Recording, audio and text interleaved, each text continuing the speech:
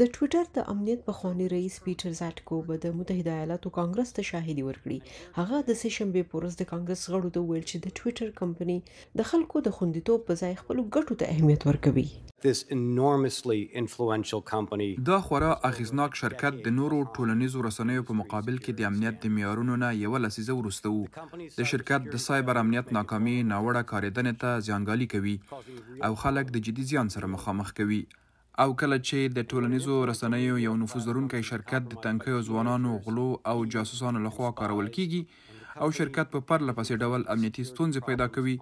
دا زموږ ټولو لپاره مهمه مسئله ده. زاټکو وايي چې هغه پرله پسې کوشش کوو چې دغه امنیتي نیمګړتیاو ته د ټویټر بورډ پام راواړوي.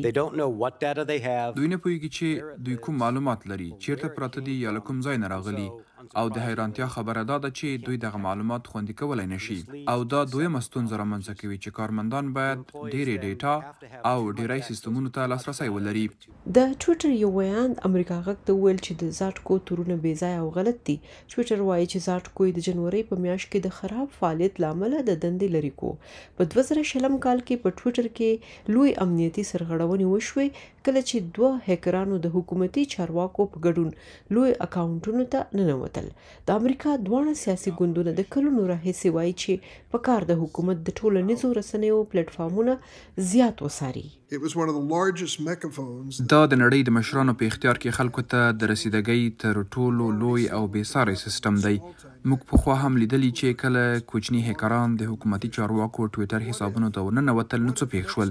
خو بیا به څه وشي که دا یوازې دوه تنکي ځوانان نه وي چې غواړي د کریپټو اسعارو په اړه څه غلا کړي تصور وکړئ چې د یو دښمن ملک حکومت هیکران د ولسمشر ټویټر حساب ته ننوځي او یا ترنه غلط معلومات ولیږي زاټکور سناتورانو ته دا هم وویل چې ټویټر د بهرنیو حکومتي جاسوسانو لخوا هم کارول کېدی شي ما ته داسې ښکاري چې د ټویټر اجرایوي رئیس د بهرنیو جاسوسانو یا هیکرانو لخوا د ټویټر د کارونکو د معلوماتو د خوندي ساتلو په ځای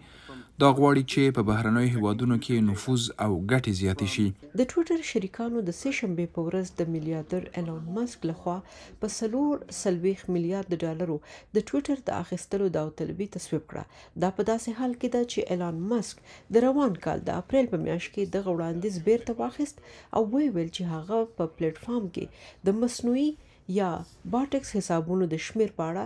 غلط معلومات لرل. نذرانه یوسفزۍ امریکا غږ واشنګټن